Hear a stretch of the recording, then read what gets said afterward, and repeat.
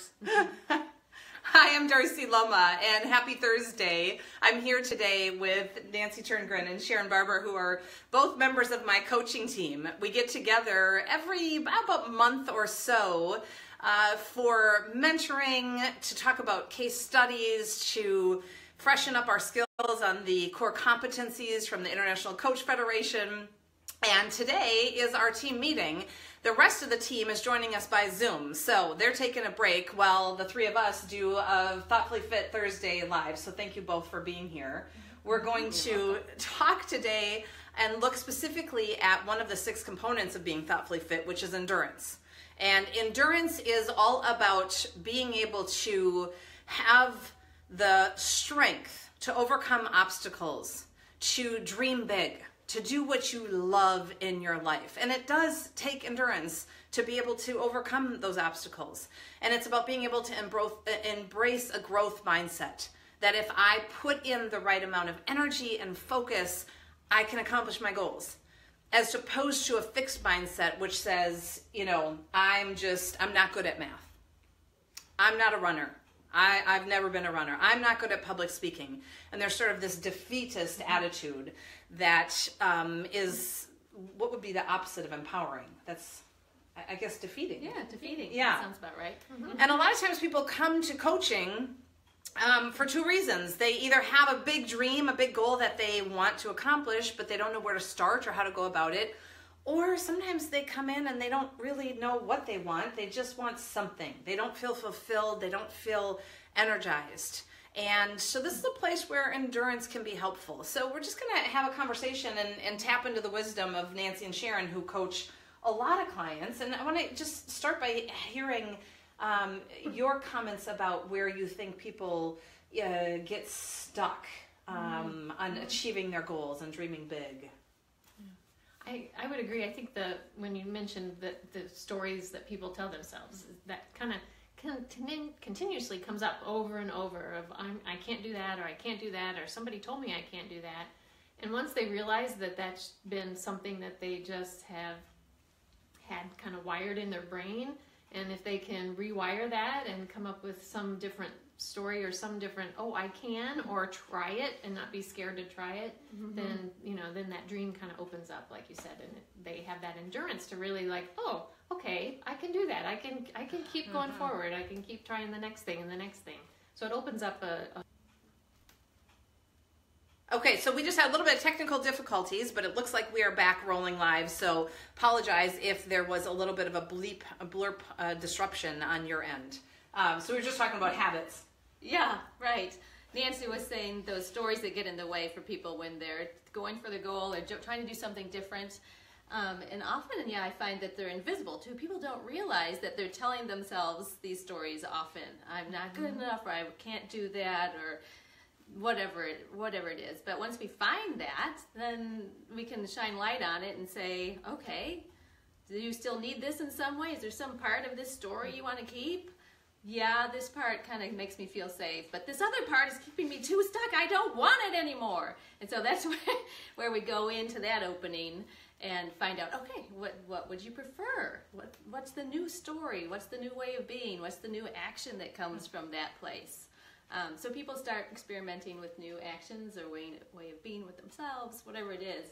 And one little step at a time, usually, sometimes there's a big inspired action, but more often it's like an experiment. Here, try, what's one easy, fun way? What's one, yeah, one way to step into this new way of being? And like you said, once they take this one step and go, oh, yeah, I've got new data now. I have new information that says I can do this. And then it just starts to roll. And one of the things I, I want to just ask each of you is how, so there's a big gap, or big step maybe from um, recognizing I've got these limiting beliefs or things that aren't serving me um, to to making changes. How, how do you help somebody recognize and create awareness that this isn't serving me, or oh my God, I didn't even know that I was holding on to that value that my parents had that isn't really a value for me. How do you help a client unfold that? Um, I think a couple ways. One is visioning. So really, because if they're sensing that something isn't isn't quite right or they're not fulfilled, then there's something missing. So kind of visioning, picturing, you know, kind of ooh, if you know you could maybe wave the magic wand, what would it look like, and how would you experience? I've I've um, you know, I'll get, I'll like, oh, I'm gonna look something up if I'm working and I'm online, and I'm, and then I get, then I'm like, oops, something pops up, and then I'm like, oh, I'm gonna do that, and then I, it gets sidetracked, and so, and then the next thing I know, I'm deleting emails that I was like, oh, these, I need to get rid of these, so I'm not totally off track, and so I would catch myself and say, okay, normally you would, you would follow that other trail and get totally sidetracked, so do something different. Do something mm. different right now means, okay, I'm not going to click on that I'm going to stay focused on what I was doing, finish that, and then move to the next thing. So it's just catching yourself, having that awareness, catching yourself, and then choosing to do something different. And just that one, you know, once you realize it and do it over and over and over again, you're kind of like, oh, I've been doing that a lot. and and once you realize I've been doing that a lot, that's what creates the habit. Right. right. It's just doing that and doing that and doing that. And so it's a default setting. So we start to change the default right. setting. And and like you said, raising awareness is the huge first step, and we might stay there a little while and go, okay, let's slow it down. So, uh. what do you notice first? What do you mean first? I noticed that I've already yelled at my kid. Okay, let's so let's just back it up and slow it down. Oh yeah, there's kind of this energy rising. Oh, I have this thought. Why can't they just do it? So we slow it down till it's like to this point, like, oh yeah, it starts with this little teeny thing in my stomach. So then they start noticing it way back then, and it's easier to do something different. Oh, there's the thing in my stomach. Right. Hmm. What did I think I wanted to do differently? Right. I'm going to take a breath, and then I'm going to get curious. What's going on there, Joey? it feels a little awkward at first, but it's something different. It leads to new results, new data, and it just and then it can keep unfolding. And it makes me think about as you were talking when when we're looking at overcoming obstacles. You don't need to you don't need to identify and overcome them all all at once as you were saying. Like what's one thing you could yeah. do differently? And i regularly hear from clients after four months like oh my god how did i get here? I am doing something. I've been wanting to do this for four years. And i think part of that is what you talked about as a strategy nancy that you just look at the next thing. You just mm-hmm. slow it down and look at the next thing. Shouldn't have turned off the um, the home Wi-Fi. So sorry about that. I'm not sure what's going on. There must be I don't know. Is it a full moon? Something must be happening that the technology is is being tweaky. So um, and I kind of lost my. Mm-hmm. Uh, one thing it doesn't have you don't have to change everything at once. Yeah. One small change leads to another. And also reflecting back to what Nancy said. So there is that you can just do one small thing and if you have that vision and that sense of how how feelings you'll have once you've created this thing or done this differently to tap into that to tap into what's important about this change um, so combining those two vision and it's just one little change at a time seems like a very powerful so it's really if, yeah if you've got some kind of a dream some kind of a, mm-hmm. a, a what you want it sounds like there's two strategies that we're playing mm-hmm. with. One is visioning what that looks like. How would you know when you got it? Mm-hmm. How would you feel? What would be different? And then there's the other the other strategy is is taking a look at what are the obstacles? What's getting mm-hmm. in the way? Mm-hmm. So if we back it up, do you ever have clients that come into coaching who don't know what that dream is, don't know what that is that they want. They just know they need something different. Mm-hmm. Um, and if so, how do you how do you help? Where do you start? How do you help those clients? I'll let you start. I've been starting, okay. so I'll let you start. Where do I start? That's a hard one, though. Oh, it seems kind of organic, but um, where do we start? Well, we start with where they are now. How do you how do you know you're dissatisfied? What's when does that show up? Oh, now that we know where it shows up, I mean, we just start getting curious and unraveling the story. So it shows up in this place. So how would you know if you were satisfied? What would be mm-hmm. different? What's the time that you were, that you felt most alive, or you felt most satisfied, or you, we start learning about these times where the person felt more themselves, more on top of the world, whatever it is. And at the same time that we're learning about the important elements, I'm also pulling kind of core values, what's really important to the person. And so we start building around that.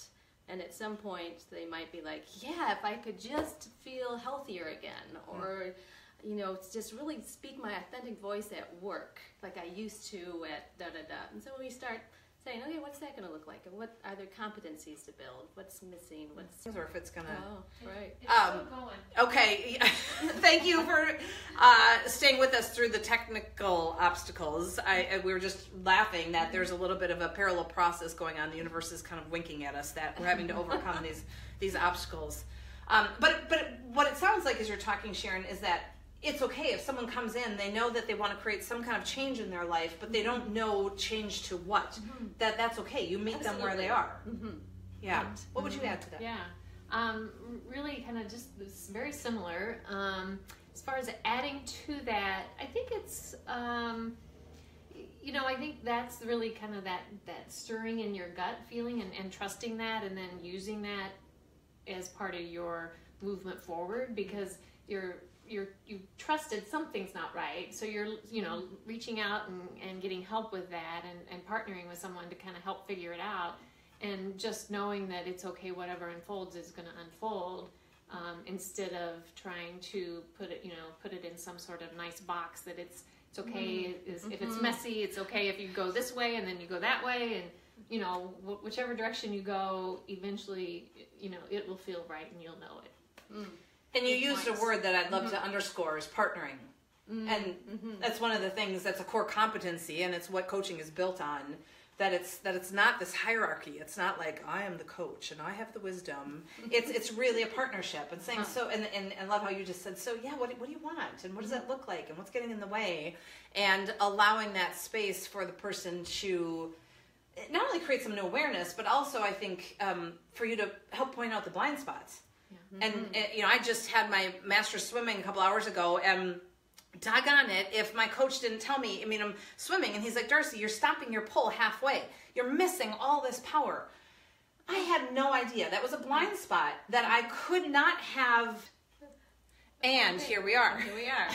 So wow. Um, so I, I was recognizing that there was no way I would have known that I was not pulling through my whole stroke without getting that mm-hmm. feedback. In this Right. case, it happened to be my Outside coach. eyes. It- mm-hmm. Outside eyes. Now maybe if maybe if I had a video, but I don't even think of a video. I, I don't even think I knew that I that you're Yeah. supposed to. You know, I haven't really thought about that. Right. So it sounds like that's another piece that you can provide is Right. holding up the mirror. Mm-hmm. So we often just don't see ourselves. We don't hear ourselves. Even reflecting someone back, saying something that sounded important that they just said, saying it back to them. Most of the time they'll go, "Did I say that? Mm-hmm. Wow!" But so even that, let alone being able to see the actions you're taking or the in the inside, wondering if there's a habit, nature, story you're telling mm-hmm. yourself. Like we just don't see those things. So Yeah, the So cool, the, the other cool mm-hmm. thing is when they sometimes when they say it out loud, you don't even have to, you know, with that partner, you don't have to mirror back. It's just once they say it out loud, they're kind of like, "Wow, yeah, wow, that oh, I just said that. I I've never said that out loud to anybody before. Yeah. It's mm-hmm. been in my head, but when I say it out loud now, it brings mm-hmm. up something different for me. Yes. Mm-hmm. Yeah, and that's why I think part of the reasons of, of, of there being of being a partnership is you're, you're and what what's an important component of that partnership is that there's safety, and mm-hmm. when you establish trust and safety and intimacy, somebody can say something that they maybe have never mm-hmm. said out loud before, and mm-hmm. that because it's safe and it's mm-hmm. completely confidential and there's no judgment, and also one that I would prefer not to have. we are having some fun over here. Um, yeah, so so being able to just say things that maybe you wouldn't otherwise say because there's no emotional attachment. You say, "I want to quit my job and move." Uh, you say that to a friend or a spouse or a child. Like, whoa, that has a big impact on me, on my life. You say that to a coach. It's like, oh, what is that? What's what's fun about that? Or what, you know, Just you curious. can explore. Uh, curious, not attached. Yes, yes, yeah. yeah. Yeah, so uh, thank you for sticking with us. I don't know what the technology was like on your end. On ours, it kind of kept stopping, so we're going to